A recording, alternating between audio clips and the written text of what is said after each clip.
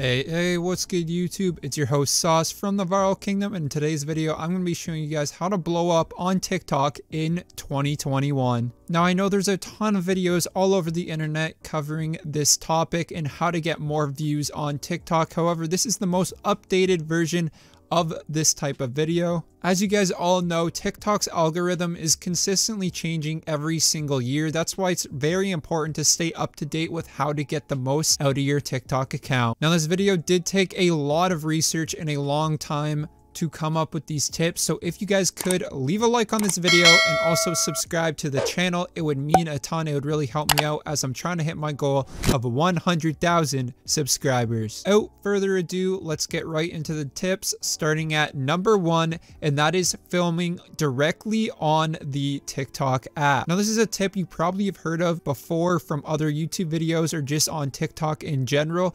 And it's actually true that videos that are filmed on the app perform better than videos that aren't filmed on the app. Now, the reason that people thought this was an issue before is that TikTok just wanted all their videos filmed within the app itself, but that's not the real reason. The real reason that videos filmed on the app perform better is because in TikTok's algorithm, it filters out copied videos from like YouTube or whatnot. So if you post a YouTube video and then just post it onto TikTok, it may not get pushed to the For You page simply because it gets striked down as a copied video. So when you use filters that are from a different app or outside of the TikTok realm and you record it on your camera on your phone, and then bring it over into TikTok, for whatever reason in their algorithm, sometimes it counts it as copyrighted material. It's kind of confusing to explain, but simply put, just film everything on the app itself and don't use any outside sources if you can. This doesn't mean that if you use an outside source, your video still can't blow up. It still can, but the chances are less likely. Number two is the share buttons on your video. Everyone knows about share, copy, click, cancel, but TikTok TikTok actually changed their algorithm a bit up just because that was getting abused by people. People were just doing it to get more views on their account.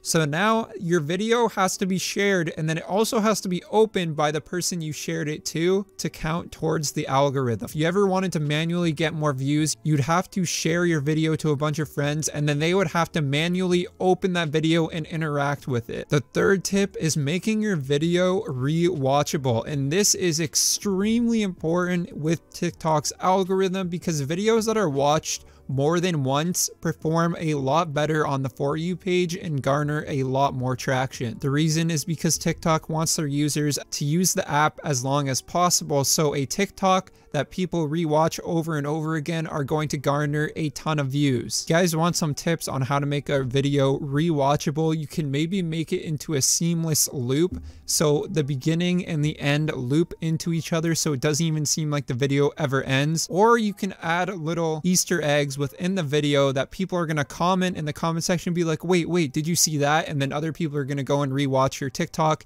and it just creates a lot more traction within the video. The fourth tip is to make your video engageable and this is probably the most important tip in this entire video. So I'll kind of go more in depth this, but basically what you want to do is engage your users in the first couple seconds. You don't want the first seconds to be anything bland. You want to catch their attention right away because if you don't catch their attention, chances are they just scroll off and that's going to screw you over in the algorithm. Some other things that can help you out if you ask questions in the description or in the captions, it's going to create a conversation and that's going to have more people engage with your video. That will create more comments in the comment sections, more likes, and more shares. If there's something in your video that is controversial or extremely funny or just something that can be talked about that will increase the comment section. This is going to help with the overall status of your video. Audience retention is extremely important on TikTok. So making a end goal at the end of the video, giving you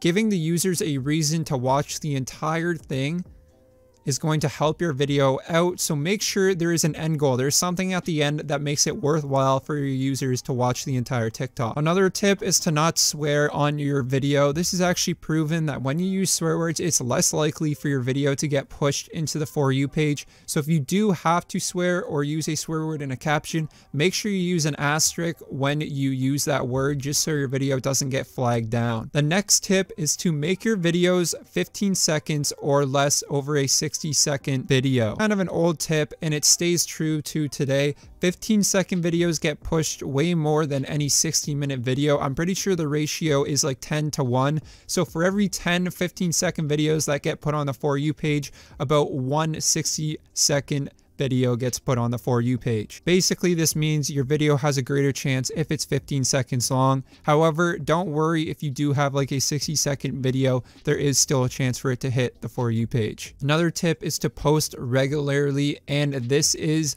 very factual, almost on literally any social media account. If you want to contain your fan base, you gotta keep posting videos. You can't go like two weeks or three weeks without posting anything and then just post one video and then go MIA for another two weeks. You have to be consistent with your content. Every single day, make it your goal to at least put one video up, if not two. TikTok is honestly all about quantity over quality, which isn't very common in most social media spaces. However, with TikTok, you can get away with just throwing up some shitty TikTok videos. As long as you're pushing out content, the algorithm will favor your account. And the last tip is using hashtags. And I know you guys have heard this all over the internet to use hashtags to help your video, but not for the right reasons.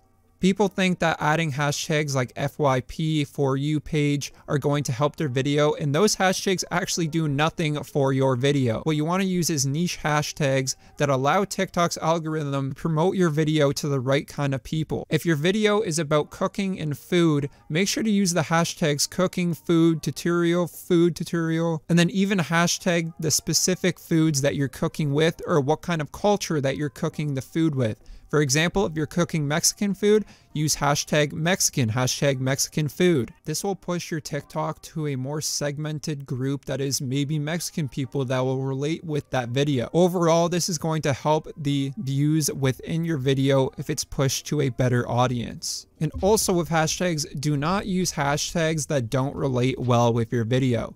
Even if it's a popular hashtag, if it has nothing to do with your video, it's going to hit an audience that may not engage as well with your video compared to a different segmented market. So that's why hashtags are important, but probably not for the reasons you thought before. Anyways, guys, that's been all the tips I have for 2021 to blow up on TikTok. I've been seeing some recent success on my own TikTok myself, so I thought I'd share some tips with you guys. If you did enjoy this video, make sure to leave a like and subscribe. Also, let me know in the comments comment section if you want to see more TikTok related content. Anyways, I hope you guys have a great rest of your day. Peace. See ya later.